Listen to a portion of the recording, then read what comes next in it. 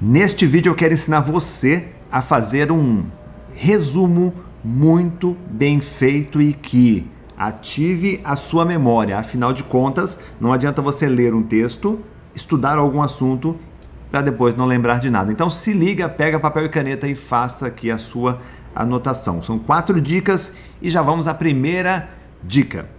A primeira dica para você fazer um resumo bem feito está em identificar o texto que você pretende memorizar. E aí é muito simples, você pega o seu livro, a sua apostila e identifica o texto. Por exemplo, aqui, ó, Os Caminhos para a Blindagem Emocional, é um capítulo do meu livro O Cérebro com Foco e Disciplina.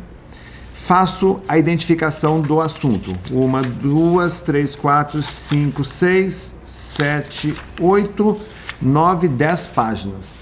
São dez páginas. Eu vou fazer o quê? Um, a primeira leitura desse texto. A primeira leitura desse texto aqui é uma leitura dinâmica, é uma leitura mais rápida, uma leitura concentrada sempre, tá? Se não for concentrada, não faz sentido ler. Onde você vai preparar os solos da memória que irão receber este novo conhecimento. Então, essa primeira leitura é uma leitura para você ter uma visão geral daquilo que será enviado para sua memória ok? Feita essa primeira leitura, você volta lá no início, né, aqui do, do capítulo, e vai fazer a segunda leitura. Presta atenção, qual é a diferença? A segunda leitura, ela se torna uma leitura mais cuidadosa, uma leitura mais analítica, uma leitura estratégica, onde você vai ler e vai identificar palavras-chave ou frases resumo que você consiga utilizar para preparar o seu resumo. Então é uma leitura estratégica. A partir do momento que você vai lendo, você tenta fazer um teste, que é o seguinte: ao terminar de ler um trecho, você pergunta: eu consigo explicar isso numa única palavra? Se sim, qual seria essa palavra? Aí eu anoto essa palavra numa folha. Ou numa frase resumo, né? Resuminho, anota essa palavra numa folha. E eu vou fazendo isso nas 10 páginas do livro que está sendo lido aqui. Perfeito. Terminou de fazer esse processo, você vai checar se as palavras que você escolheu aqui para preparar o seu resumo são palavras gatilho, que ativam a sua memória. E a única forma de você fazer isso, sabe qual é? É testando, é explicando o texto a partir dessas palavras. Então começa a ler a palavra e começa a simular como se estivesse dando uma aula sobre o assunto.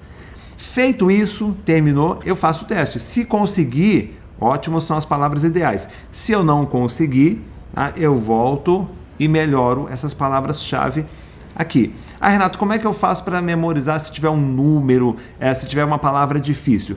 Eu vou deixar um vídeo aqui, tá? No meu canal tem diversos e diversos vídeos ensinando técnicas de memorização, concentração e leitura. É só você clicar aqui no canal. Eu vou deixar também na descrição um programa, uma formação em leitura, em leitura dinâmica, em memorização, caso você se interesse em fazer um, algo mais aprofundado, ok? Então vamos lá. Terminou de ler, testou, são as palavras perfeitas. Você vai pegar agora uma nova folha, uma folhinha em branco, e você vai fazer aí um resumo. A partir dessas palavras-chave, você vai fazendo um resumo explicando aquele conteúdo que você leu no livro. Esse resumo pode ser literalmente um texto corrido Pode ser um mapa mental. Ah, Renato, não sei como fazer um mapa mental. Não tem problema. Tem vídeo aqui também no canal sobre como fazer mapa mental. Vou deixar aqui para vocês o card aqui em cima. E aí você terminou, faça de punho de preferência, porque ativa sua memória sensório-motora. Né? Faça aquele resumo, leia, confere, faça o teste, veja se está coerente, se tem clareza nas ideias, se, se tem é, condições de explicar a partir deles.